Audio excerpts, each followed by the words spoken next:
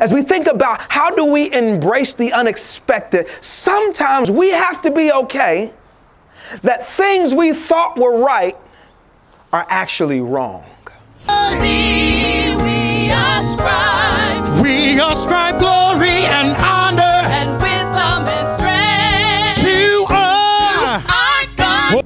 There are a lot of things that come unexpectedly, and one of the things that I've come to find out is often God comes not when we expect, but when we least expect.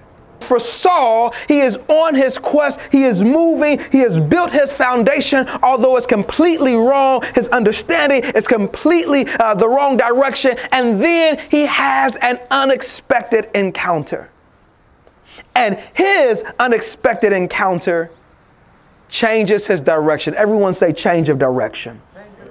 We worship, we worship, adore you, adore you. We declare, we declare nobody like you, nobody like you. We worship, we worship, adore you, adore you. We declare, we declare nobody like you, nobody like say we worship. And I'm thankful that we have a God that cares enough about us that similar to Saul, that some of us are so diametrically opposed that God will interrupt your life, interrupt your plans, interrupt everything that you think you're doing just to shake you, to get you to hear his voice again. Some of this isn't because God dislikes you. Some of this isn't because God does not care. Some of this is because if God does not do this, he will never get your attention. This is the reason why you're where you are because God just wants your attention so that you can hear his voice maybe for the first time like you've never heard it before.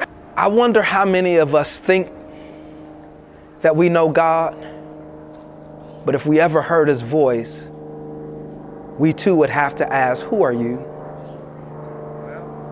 That maybe God isn't who we thought God was because we've been moving in such a direction for so long that we've actually moved far away from God. We declare, we declare nobody like you. Nobody